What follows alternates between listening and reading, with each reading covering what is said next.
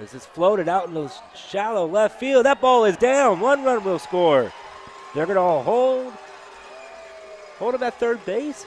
And what do you know? Montville with a big clutch hit in the bottom of the eighth to tie the ball game six to six.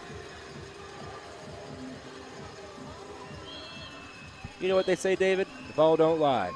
And that was a little bleeder that got down. Oh, good effort there by Dexter. But running on the pitch was Cody Regis, and he came around to score.